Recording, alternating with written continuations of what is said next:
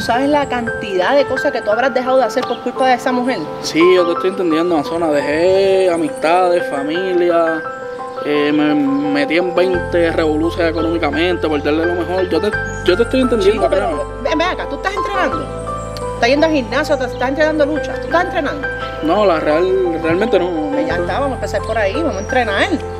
¿Cómo ayudar? Pues seguro que sí entrenamos, a mí me hace falta también. Yo no soy ciega, ¿sabes? Vamos a meterle mano, vamos a ponernos duro de verdad.